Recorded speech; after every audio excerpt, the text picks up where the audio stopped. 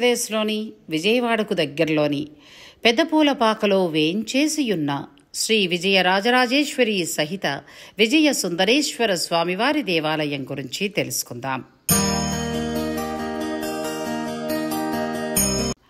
ప్రపంచంలోనే ఉన్న ఏకైక దేవాలయం ఇది.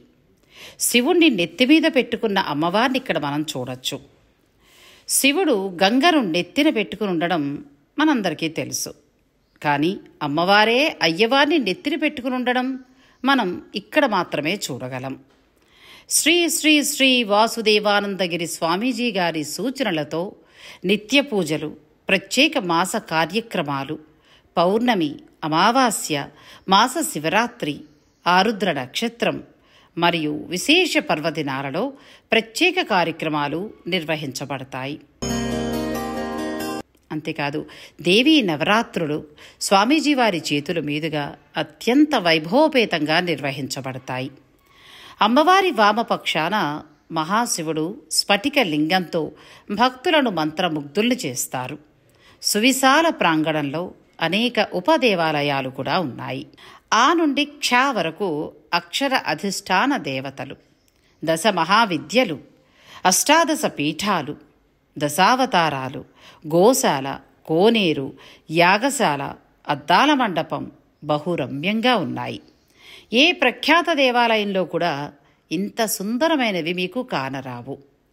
భక్తులు మైమరిచిపోయే ఆధ్యాత్మిక శోభను సంతరించుకుంది ఈ దేవాలయం. ఇక మీరు వసతి చేయడానికి ఇక్కడ గదులు కూడా అందుబాటులో ఉన్నాయి. మీరు ముందు రోజే చేరుకుని గదులు తీసుకుని చక్కగా విశ్రాంతి తీసుకుని మరుసటి రోజు ఉదయమే స్వామివారికి సంబంధించిన అభిషేకాలు శ్రీచక్రార్చన ఇక్కడ మనం విశేషంగా అంటే మన చేతులతోటే చేసుకోవచ్చు. ఇలా చాలా ప్రత్యేక పూజలు ఇక్కడ నిర్వహించబడతాయి. ఆ పూజలన్నీ చేసుకుని మళ్ళీ మీరు తిరుగు ప్రయాణం కావచ్చు.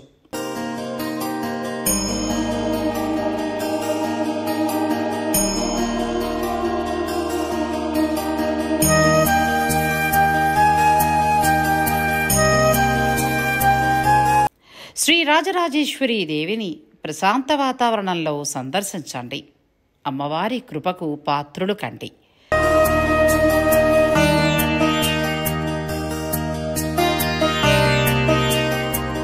రండి. ఈ ఆలయాన్ని నేను మీకు మొత్తం చూపిస్తాను. అమ్మవారు అయ్యవారి దర్శనం చేసుకుందాం. అలాగే ఆలయంలో ఉన్న కోనేరు యాగశాల గోశాల ఇటువంటివన్నీ కూడా నేను చూస్తూ మీ అందరికీ కూడా చక్కగా చూపిస్తాను.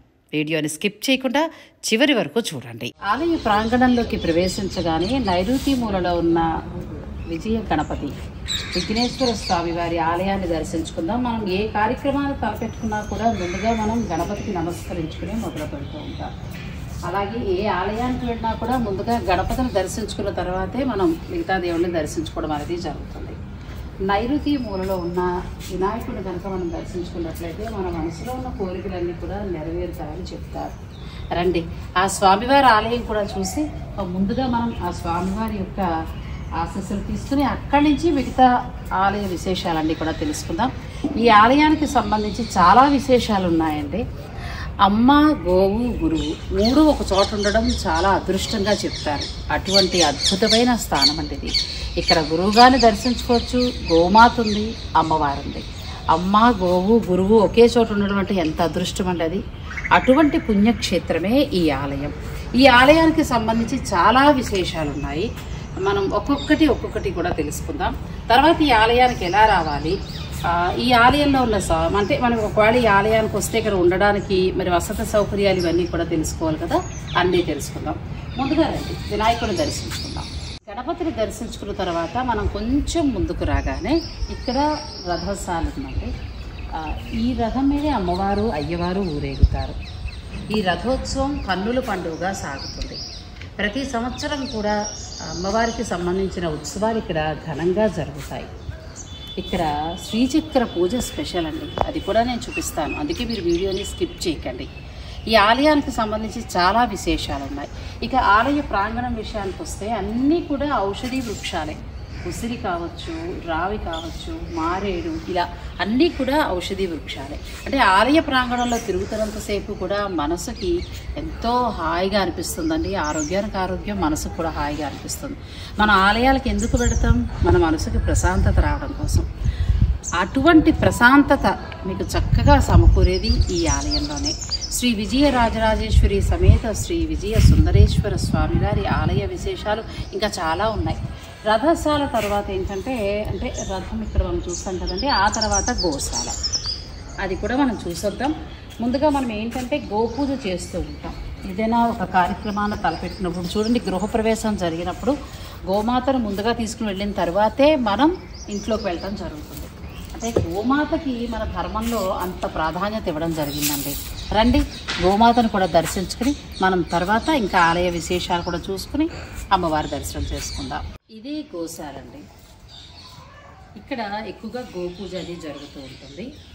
గోమాత సకల దేవతా స్వరూపంగా చెప్తూ ఉంటారు. గోమాతలో అందరు దేవుళ్ళు కొలువై ఉన్నారట. కొమ్ముల్లోనూ అలాగే కాలి పిక్కలు ఉంటాయి కదా వాటిల్లోనూ తర్వాత పొదుగులోను తోకలోను అలా మొత్తం గోమాత అంతా కూడా దేవతలు కొలువై ఉంటారట. సకల దేవతా స్వరూపం గోమాత. మనం ఏ మంచి కార్యక్రమాన్ని తలపెట్టుకున్నా కూడా ముందుగా మనం గోపూజ చేయటం అనేది జరుగుతుంది.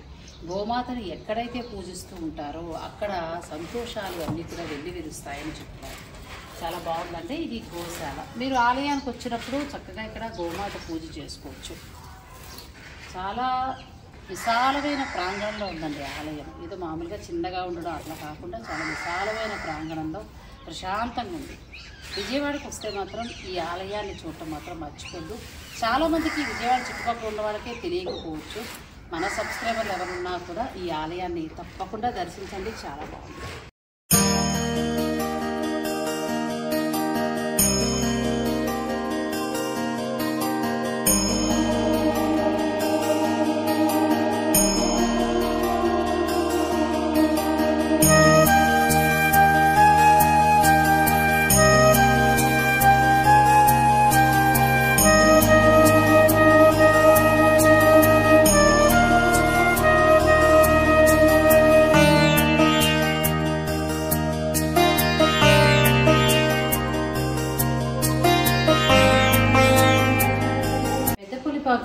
ఉన్న శ్రీ విజయ రాజరాజేశ్వరి సమేత శ్రీ విజయ సుందరేశ్వర స్వామి వారి ఆలయ విశేషాలు అయ్యవారిని అడిగి తెలుసుకుందాం. నమస్తే అమ్మ. నమస్కారం. ఈ ఆలయం ఎన్ని సంవత్సరాలైంది ఈ నిర్మించి? ఈ ఆలయం నిర్మించి ఏడు సంవత్సరాలు అవుతుంది. ఇక్కడ విశేషంగా చేసే పూజలు ఏంటి? అసలు మామూలుగా ఇవి ఇటువంటి కార్యక్రమాలు జరుగుతాయి ప్రతిరోజు కూడా? ప్రతిరోజు మామూలుగా అభిషేకాలు జరుగుతాయి అమ్మగారు. శ్రీచక్రం దగ్గర నిత్యం అభిషేకం జరుగుతుంది. నిత్యం. రెండు పూటల కుంకుమార్చన జరుగుతుంది అమ్మగారు. అలాగే ఉపాలయాల దగ్గర కూడా రోజు మామూలు పూజ జరుగుతుంది షోడశోపచార పూజ. అలాగే శివాలయంలో విజయ సుందరేశ్వర స్వామి వారికి రోజు నిత్యం అభిషేకం జరుగుతుంది. అలాగే అమావాస్య పౌర్ణమికి అమ్మవారికి అభిషేకం జరుగుతుందండి. అమావాస్య రోజు విశేషంగా చండీ యాగం కూడా జరుగుతుంది అమ్మగారు అప్పుడు భక్తులు ఎవరైనా అంటే ముందుగా ఈ కార్యక్రమంలో ఎవరైనా పాల్పంచుకోవాలంటే ముందుగా తెలియచేయాలా? లేకపోతే అప్పటికప్పుడు రావచ్చా? ముందుగా తెలియచేయడం అమ్మగారు. అక్కడ ఆఫీస్ రూమ్ దగ్గర అమ్మగారు ఉంటారు. వారికి చెప్పి గోత్రనామాలు? గోత్రనామాలు రాపించుకోవాలి. గోత్రనామాలు రాపించుకొని అక్కడ కూర్చోవచ్చు అమ్మగారు. అసలు మామూలుగా ఏంటంటే అమావాస్య రోజున ఇక్కడ విశేషం ఏంటంటేనండి అమ్మవారికి అభిషేకంతో పాటు చండీ హోమం జరుగుతుందండి. సామూహిక చండీ హోమం జరుగుతుంది. మీరు కనుక హోమంలో పాల్గొనాలి అని అనుకుంటే ముందు రోజుగా మీకు నేను నెంబర్లు ఇస్తాను కాబట్టి ఆ నెంబర్కి మీరు కాల్ చేసి చక్కగా రావచ్చు. నేను యాగశాలను కూడా చూపించాను కదా. చాలా అద్భుతంగా జరుగుతుందండి. ఇక తర్వాత ఇక్కడ విశేషం ఏంటంటే శ్రీచక్ర పూజ. కుంకుమార్చన కూడా మనం ముందుగా టికెట్ లాంటి తీసుకోవాలా? అచ్చా పొద్దున సాయంత్రం రెండు పూటలు జరుగుతుంది.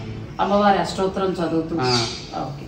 అమ్మవారి అష్టోత్తరం చదువుతూ శ్రీచక్ర పూజ కూడా జరుగుతుందండి. రోజున చండీ హోమంతో పాటు ఇక ప్రతినిత్యం కూడా అమ్మవారికి విశేష పూజలు జరుగుతూ ఉంటాయండి.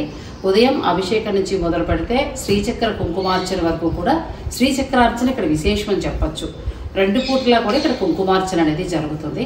మీరు ఈ పూజల్లో కూడా పాల్గొనవచ్చు మీరు పూజ చేయించుకోవాలంటే ముందుగా తెలియజేస్తే వాళ్ళు అన్ని ఏర్పాట్లు చేస్తారు. ఇక ఆ తర్వాత ఇక్కడ అమ్మవారికి సంబంధించిన ఉత్సవాలు ఏడాదికి ఒకసారి జరుగుతాయమ్మా? అవునమ్మా.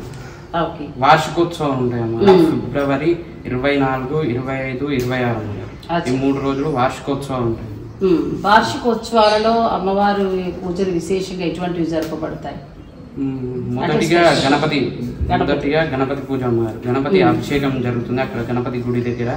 అభిషేకం గణపతి పూజ అన్ని జరుగుతాయి అమ్మగారు అలాగే హోమం కూడా జరుగుతాయండి ప్రతి రోజు హోమాలు జరుగుతాయండి. తర్వాత అమ్మవారికి అభిషేకం.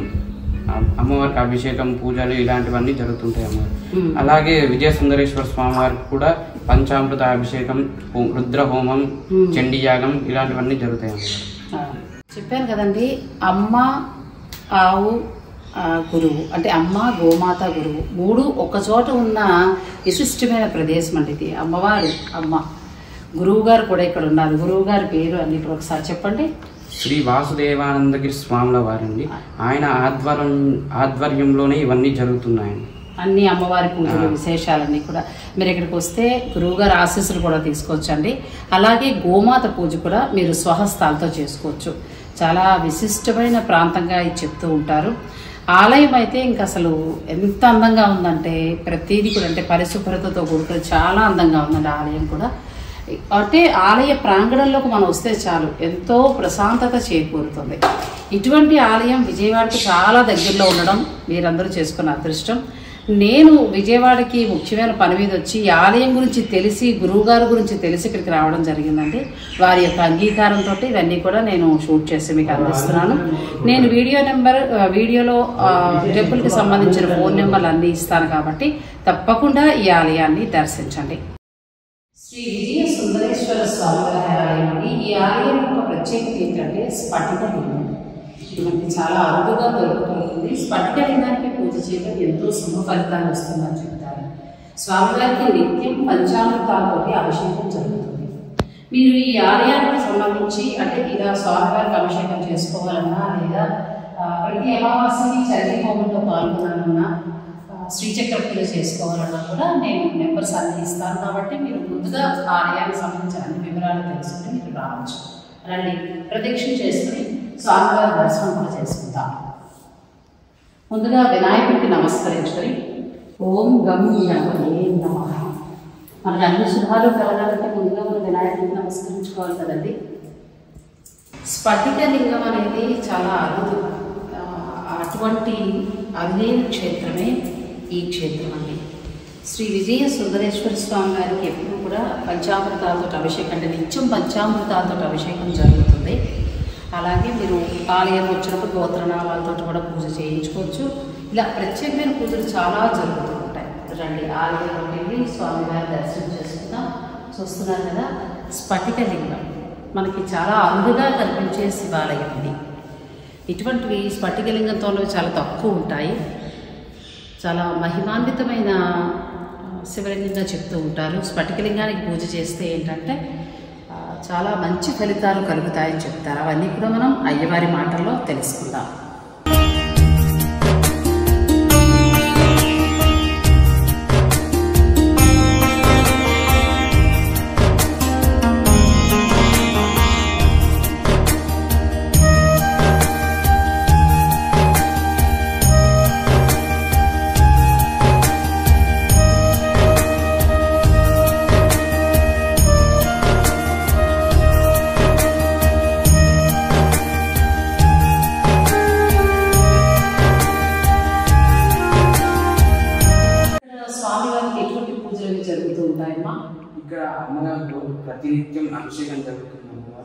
ఊరిలో.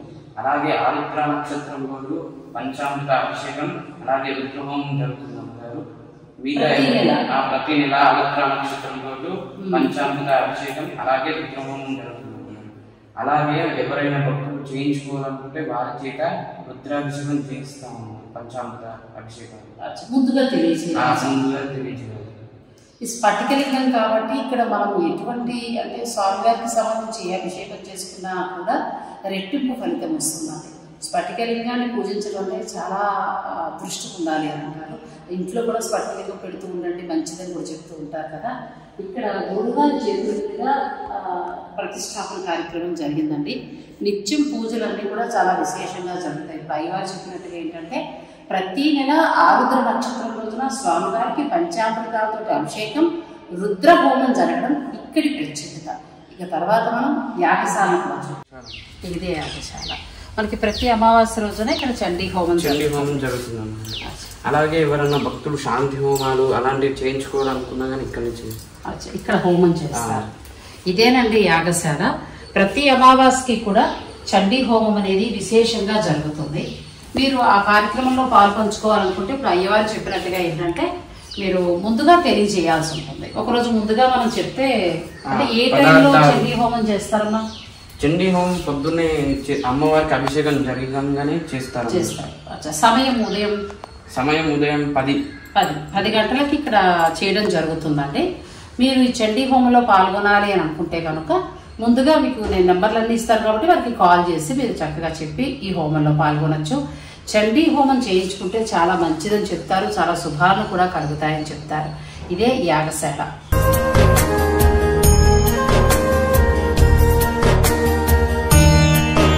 ఇదే అమ్మగారు కోనేరు. కోనేరు కూడా చూద్దామండి. శ్రీ విజయ సుందరేశ్వర స్వామి వారి ఆలయ ప్రాంగణంలో ఆలయానికి ఎదురుగా యాగశాల ఉంది. ఆ తర్వాత కోనేరు. మనకి పురాతన ఆలయాలు అంటే ఇప్పటికి కాదు తిరుపతి అలివేరు మంగాపురం అటువంటివి చూసినప్పుడే మనం కోనేరుని చూడగలుగుతాం. ఇలా విశాలమైన ప్రాంగణంలో కోనేరు కూడా ఉండడం చాలా అంటే అన్ని స్పెషల్స్ ఈ ఆలయానికి సంబంధించి. విగ్రహం బదరీ నారాయణ స్వామి అమ్మ? బదరీ నారాయణ స్వామి విగ్రహం. అది ఏంటి స్పెషల్? అది పోయిన సంవత్సరం చిన్నజీర స్వామీజీ గారు వచ్చి ప్రతిష్టాపన చేశారు అమ్మగారు. అంటే ఇప్పుడు బద్దరీలో ఉండి చూస్తున్నారు కదా. బద్రీ నారాయణులు యోగ నిద్రలో యోగ ముద్రలో ఉంటారు కదా అమ్మగారు అవునమ్మా. అలాగే ఇక్కడ కూడా ప్రతిష్టాపన చేశారు అమ్మగారు ఆహా. మీరు ఇప్పుడు ఈ కోనేరులో విగ్రహ ప్రతిష్ఠ చేసిన అంటే ఇక్కడ విగ్రహ ప్రతిష్ఠ చేశారు చూస్తారు కదండి బదరీ నారాయణ స్వామి. ఆయన బదరీనాథుడు అలా యోగ ముద్రలో ఉంటారు. అంటే మీరు ఈ క్షేత్రానికి వస్తే బదరీ యాత్ర కూడా చేసినట్టు అయిపోతుంది. అంతే కదమ్మా? ఈ విగ్రహాన్ని అంటే ఈ స్వామివారిని చిరజీయ స్వామివారి చేతుల మీదుగా ప్రతిష్టాపన జరిగిందండి. ఆ స్వామివారు ఇక్కడికి వచ్చారు ప్రతిష్టాపన చేశారు బదరీ నారాయణ స్వామి. ఇక ఈ కోనేరు ప్రాంగణంలోనే నవగ్రహాలు. నవగ్రహాలు కూడా మనం దర్శించుకోవచ్చు. నవగ్రహాలకు సంబంధించి ఏదైనా ప్రత్యేక పూజలు చేయించుకోవాలంటే చేయించుకోవచ్చు? నవగ్రహ హోమారాధన నవగ్రహ పూజ అభిషేకాలు శని దోష నివారణ ఇలాంటివన్నీ చేయించుకుంటారు చాలా ప్రత్యేకతలు ఉన్నాయండి ఈ ఆలయానికి సంబంధించి. మనం మామూలుగా అమ్మవారి దర్శనం మాత్రమే కాకుండా ప్రతి నెల జరిగే చండీ హోమం అమావాస్య రోజున విశేషంగా జరుగుతుంది. ఆ రోజు మనం ఇక్కడ పాల్గొనవచ్చు అలాగే నవగ్రహాలకు సంబంధించిన హోమాలు లాంటివి జరుగుతాయి. నవగ్రహ పూజ జరుగుతుంది. శనిదోష పరిహారార్థం కూడా ఇక్కడ పూజలు జరుగుతాయి. ఇక ఆ తర్వాత ఆరుద్ర నక్షత్రం రోజున ఈశ్వరుడికి పంచామృతాలతో అభిషేకం అలాగే రుద్రహోమం. ఒక ప్రత్యేకతని కాదండి ఈ ఆలయంలో. చాలా ప్రత్యేకతలు ఉన్నాయి. ఈ ఇటువంటి పూజలు మీకు చక్కగా అంటే ఇప్పుడు మనం చాలా ఆలయాల్లో చేయించుకుంటూ ఉంటాం. కాకపోతే ఏంటంటే హడాడు హడాడుగా అయిపోతూ ఉంటుంది. కానీ ఒక్కసారి మీరు ఈ ఆలయానికి వస్తే మీకు ఎటువంటి హోమం అంటే మీరు సంబంధించి రుద్రహోమం చేయించుకుంటారా లేకపోతే చండీ హోమం ఇవన్నీ కూడా చాలా శ్రద్ధతోటి చక్కగా చేస్తారండి. అంటే మీరే మీ స్వహస్తాలతోటి చేసుకోవచ్చు. అటువంటి అరుదైన అవకాశం మనకి ఈ ఆలయంలో దక్కుతుంది. రండి. అమ్మవారి దర్శనం కూడా చేసుకుందాం.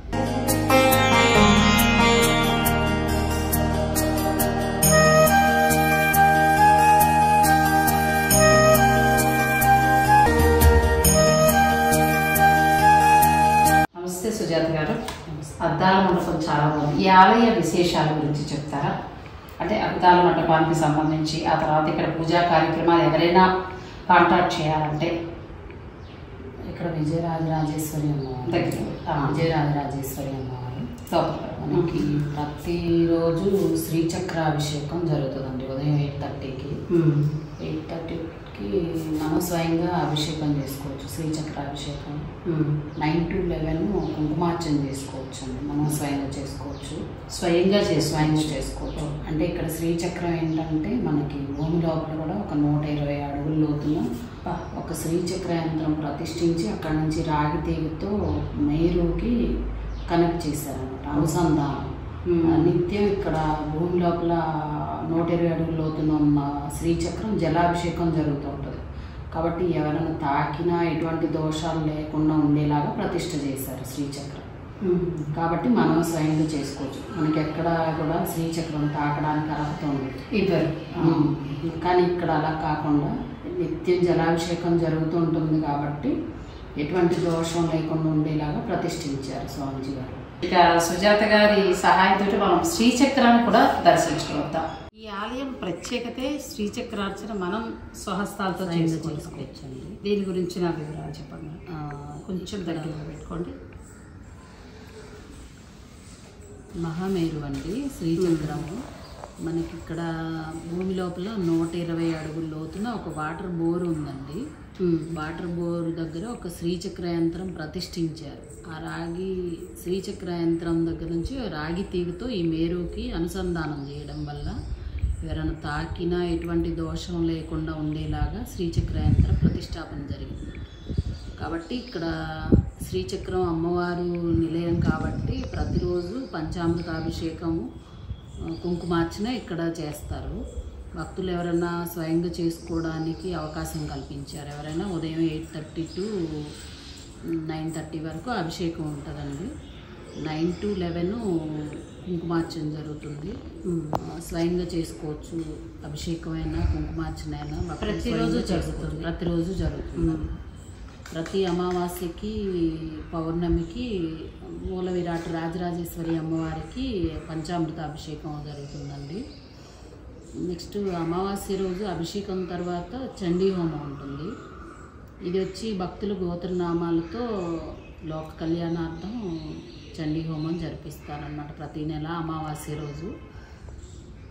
ఇది ఎవరైనా చేయించుకోదలుచుకుంటే ముందుగా ఆఫీసులో సంప్రదిస్తే వాళ్ళ గోత్రనామాలతో రెగ్యులర్గా జరుగుతుంది. ఒకవేళ వాళ్ళు రాలేకపోయినా అవకాశం ఉండి వీలైన వాళ్ళు వచ్చి అమ్మవారి దర్శనం చేసుకొని చండీ హోమం చూసి తీర్థ ప్రసాదాలు తీసుకొని వెళ్ళొచ్చు. రావడానికి వీలు పడని వాళ్ళు రెగ్యులర్గా వాళ్ళ పేరు మీద జరిపి జరిపించుకుంటారు. అట్లా ఒక గ్రూపుగా చేయిస్తామన్నమాట. తర్వాత రాజరాజేశ్వరి అమ్మవారి విశేషం ఏంటంటే అమ్మవారి మూల విరాట్టు స్వామివారు అమ్మవారు ఒకే మూర్తిలో ఉండాలనే సంకల్పంతో స్వామీజీ వారు అమ్మవారి శిరస్సు మీద స్వామివారు ఉండేలాగా ప్రతిష్ఠ చేయించారు. అంటే శివలింగం ఉంటుంది అమ్మవారి శిరస్సు మీద శివలింగం. స్వామివారు అమ్మవారు ఒకే మూర్తిలో కలిసి ఒకే మూర్తిలో. చాలా ప్రత్యేకతలు ఆ, ఉన్నాయండి. ప్రత్యేకత అదే అన్నమాట ఇక్కడ విశేషం. ఎక్కడ మనకి స్వామివారు వేరు అమ్మవారు వేరుగా ఉంటారు. కానీ ఇక్కడ ఒకే మూర్తిలో అమ్మవారు స్వామి అమ్మవారి తల మీద స్వామివారు ఉంటారు. అది విశేషం. విశేషం. అలాగే శ్రీచక్ర పూజ మన స్వహస్తాలతో స్వహస్తాలతో చేసుకోవటం ఇది ఒక విశేషం. తర్వాత శివాలయంలో కూడా అభిషేకం మనం మనం స్వయంగా చేసుకోవచ్చు శివాలయంలో స్వామివారికి కూడా. అక్కడ ఆరుద్ర నక్షత్రం రోజు పంచామృత అభిషేకం జరుగుతుంది. తర్వాత రుద్రహోమం జరుగుతుంది. మాస శివరాత్రి రోజు స్వామివారికి ఏకాదశి రుద్రాభిషేకము అన్నాభిషేకం జరుగుతుందండి. అన్నాభిషేకం కూడా భక్తులు స్వయంగా చేసుకోవచ్చు. అంతా ఇక్కడ ఏర్పాటు చేస్తామండి. వాళ్ళు ఉదయం సెవెన్కి వస్తే సరిపోద్ది. అట్లాగా అన్నీ ఏర్పాటు చేస్తాం. వాళ్ళే స్వయంగా చేసుకోవచ్చు. దర్శనం మాత్రమే కాకుండా విశేషమైన పూజలు జరుగుతాయండి ఇక్కడ. ప్రతి తిథికి అంటే ఇప్పుడు మీరు ఆరుద్ర నక్షత్రం రోజున స్వామివారికి ఇష్టమైన నక్షత్రం ఆయన జన్మ ఆరుద్ర నక్షత్రం స్వామివారి జన్మ నక్షత్రం ఆ రోజు ప్రత్యేకంగా అభిషేకాలు రుద్రహోమం జరుగుతాయండి. మీరు పాల్గొనాలంటే చక్కగా వచ్చి ఇక్కడ కార్యక్రమాల్లో పాల్గొనవచ్చు అంటే ప్రతి దైవ కార్యక్రమంలో మీరు స్వయంగా పాల్గొనవచ్చు అది నిజంగా ఇక్కడ చాలా ప్రత్యేకతగా చెప్పొచ్చండి. చా ఎన్నో విశిష్టతలు ఉన్న ఈ ఆలయానికి సంబంధించిన అడ్రస్ ఫోన్ నెంబర్లు అన్నీ కూడా నేను ఇస్తాను. మీరు చక్కగా సుజాత మేడంకి కాల్ చేస్తే ప్రతి డీటెయిల్ వివరంగా చెప్తారు. మీకు ఎప్పుడెప్పుడు ఏ పూజ ఏంటనేది చెప్తారు. అలా మీరు ఈ ఆలయానికి వచ్చి కూడా పాల్గొనవచ్చు థ్యాంక్ యూ సో మచ్